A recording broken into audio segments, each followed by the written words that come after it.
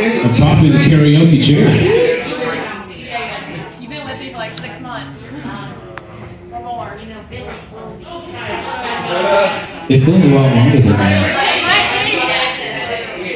Ladies and gentlemen, without any further ado, I give to you, Ms. Elizabeth Lillard.